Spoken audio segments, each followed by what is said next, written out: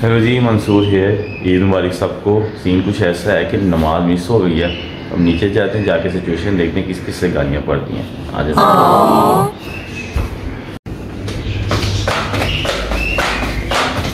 जी, नीचे आ गए हैं। सबसे बातें बुतें बड़ी बेहतरीन किस्म की सुन ली है। बताने की जोगी नहीं है कि नमाज़ नहीं पढ़ी। वेल ये देखें, धूप बड़ी ज़बरदस्त किस्म की है। अनफॉर्चुनेटली जानवरों के रेट इतने ज़्यादा थे। इस दफ़ा हमने कोई बकरा नहीं है, सारा सुनसान है। तो इसीलिए हम भी नाराज़ है।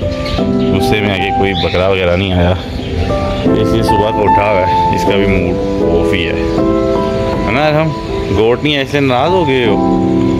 हैं? बताओ ना। गोट नहीं आए तो ये नाराज़ हो गया। कोशिश कर रहे हैं कि आज की डेट में कोई इकनॉमिकल सा जानवर मिल जाए। देखते हैं क्या बनता है। ऐसा बकरे तो आज हैं नहीं हमारे पास फ़िलहाल। फ़िलहाल। तो हम फिर नाश्ता लेने जा रहे हैं। नाश्ता करें उसके बाद देखते हैं। कोशिश कर रहे हैं कोई गायें हो जाए लाया करे।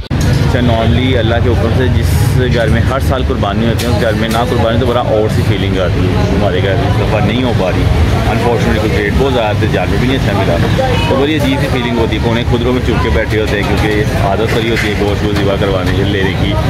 लफाफे वो डालने में तो इस दफ़ा वो नहीं हो रहा। तो इस टाइम सारे जो है ना कोने खुदरों में बैठे हैं, बड़ी अजीब सी सिचुएशन है। चुप चुप करके सारे बैठे बच्चे भी और बड़े। जी होपिंग गए थी हो कि कुछ हमें मिल जाए। पाँच मिनट से तो वैसे हम चंगा भला लील हो रहे हैं, अभी हम जा रहे हैं, जगह बकरे लेने बकरे नहीं रही आवाज़ हो रही है। जाके चेक करें अल्लाह करे मिल जाए। चलते इस सीट पे यार हम जानवर नहीं ले पाए ऑनर से अभी मैं मंडी से ही आ रहा हूँ। मंडी तो नहीं आ गए थे, एक आधी जगह पे देखने गए थे। कलमा चौंक देखा होता और हमने कैबरे के पास तो वहाँ पे ले ले खड़े थे। बहुत छोटे छोटे थे और रेट बहुत ज़्यादा था। मेरा अनफॉर्चुनेटली शायद इस दफ़ा नहीं वो सौदा बन पाया। तो हम जानवर के बगैर ही इस दफ़ा एक गुजार हैं बड़ी अजीब सी सिचुएशन से मैंने पहले बताया था। बच्चे हैं, बेचारे, आवाज़ आ रहे हैं। लेकिन उनको तो ये नहीं बता सकते कि क्यों नहीं आ रहे। तो नहीं हाउ अभी चलते हैं, बाकी जहाँ जहाँ से गोश्त आ रहा है, उसको भी फिर डिवाइड कर देंगे इन गरीबों में।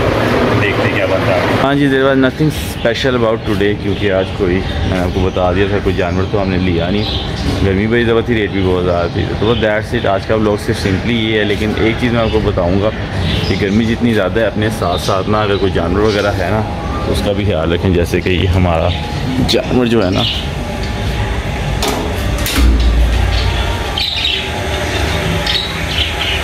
इनका भी बहुत ख्याल है क्योंकि गर्मी बहुत ज़्यादा है बेचारा अंदर आके सो गई है, उठ गई है।